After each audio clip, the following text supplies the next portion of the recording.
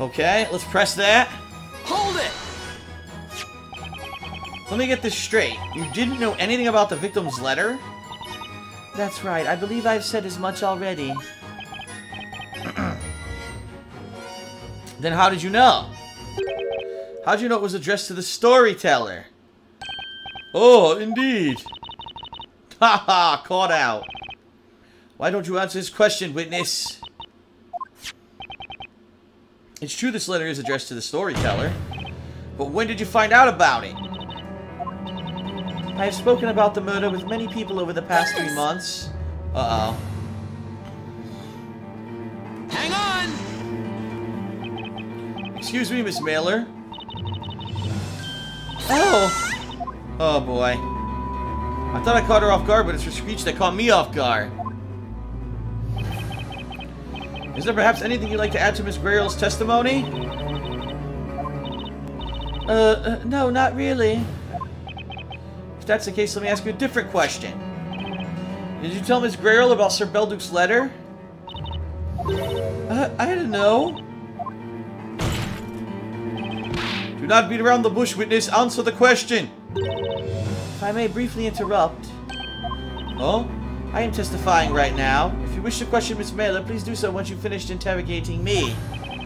She's not going to let me question Mailer from the looks of it, and if she's so keen to prevent her from answering, this might be a cr critical point in the testimony. I've got to find another way of fishing for that information. Witnesses continue testify.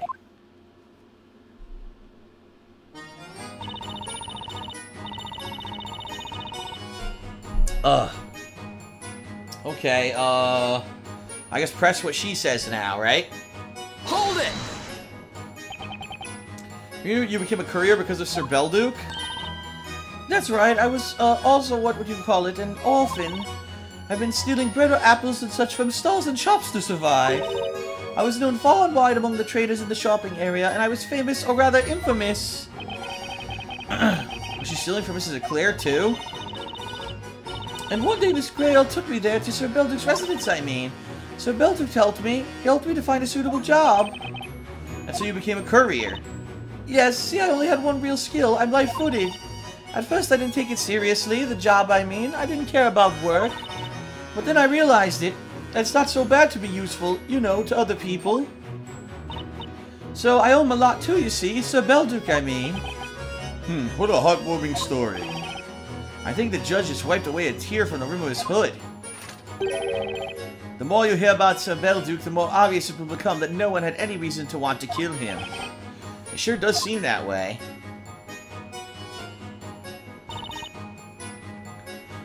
Oh, he told her about the confidentiality obligation. Let's press this. Hold it! The confidentiality obligation is a rule held among couriers, is that right? Yes, a courier must not disclose the contents of a letter, nor the names, nor addresses of its sender and recipient. But I'll tell you confidentially that um, I love gossiping, bad-mouthing people especially. So I wasn't confident I could keep it. The confidentiality obligation, I mean. I was tempted to talk about this and that. To think that Belduke trusted her. But then Sir Belduke spoke to me. He told me this. Think about how you'd feel that feel in that person's place. And that got me thinking I really, really like to gossip. But when it comes to being gossiped about, people's messages are their secrets, and secrets must be kept. Indeed, no one would want their letters to be publicly known. She's certainly undetermined when it comes to confidentiality. That's why she doesn't want to disclose the addressee of Belduke's letter. I'm not going to get it out of her. I promise, Sir Belduke, and I'm going to keep it no matter what. The promise, I mean. It's something I can pride myself on, right? Grail may not have had a motive to murder Belduke, but what if she used the portal to obtain that letter? Depending on the contents of the letter, I might be able to prove there had been her motive. I wonder what Sir Belduke wrote in about that letter. There's only one way to find out. I need to get Grail to admit that she got hold of the letter. I'm worried, Mr. Wright, of what's lying ahead. The feeling's mutual, but I have to see it through. I've got to pursue the truth. Alright, we're gonna do this again. Took her in. I had no reason to take life or steal the, the, his letter to the storyteller. Belduke was a wonderful man, he's the one who told me about it, the confidentiality agreement. Alright, I gotta keep going. I know what I gotta do, because remember I went over to the to the mailer? So I have to push about the storyteller, but not go to the mailer. Okay. Here we go. Hold it!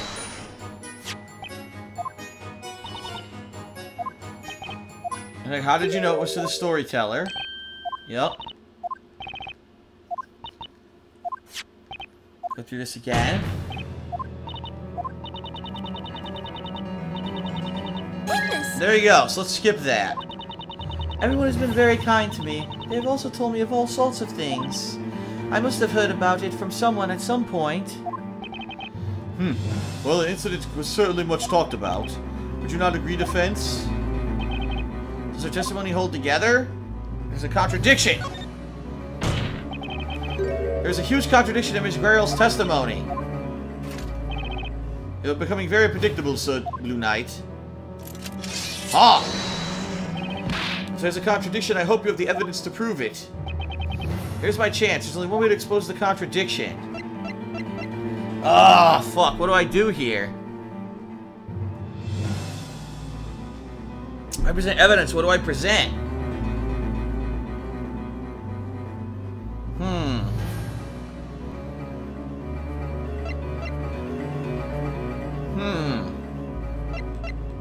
I'll present.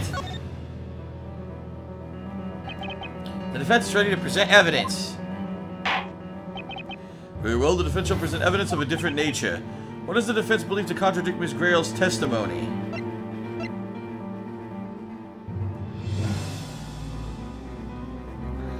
I think it's the tomato juice.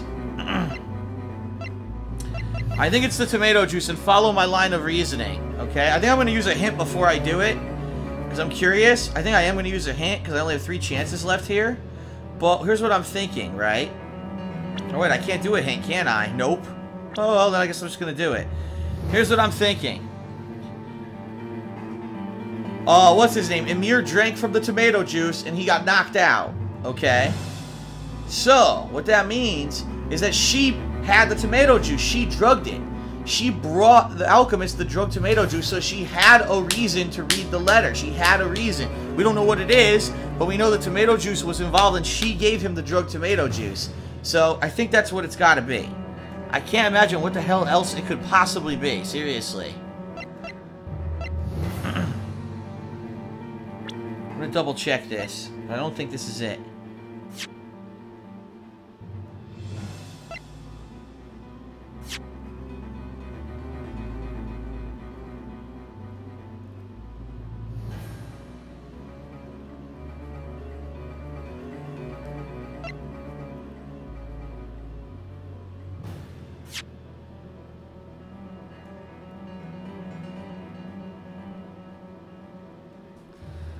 I'm not seeing any evidence here.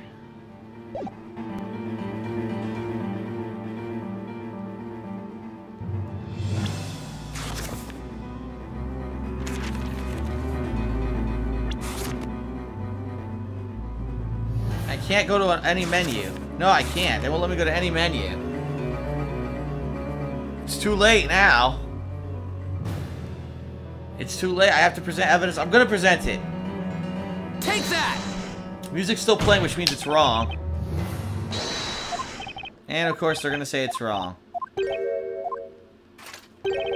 Yeah, it's not right. And we skip through all this bullshit.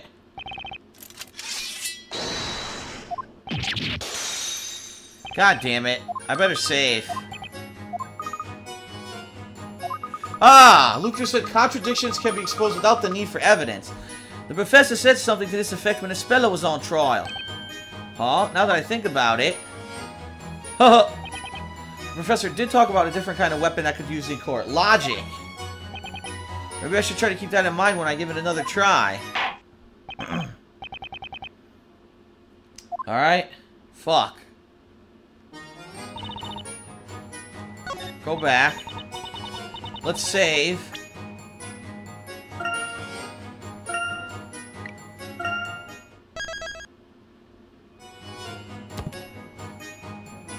Okay, push again. Hold it!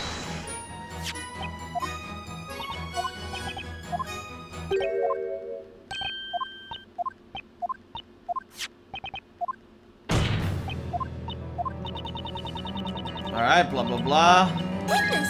Nope, keep going.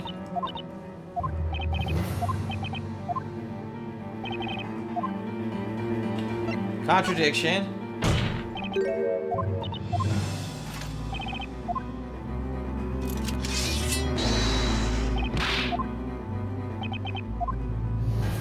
Okay, here we go.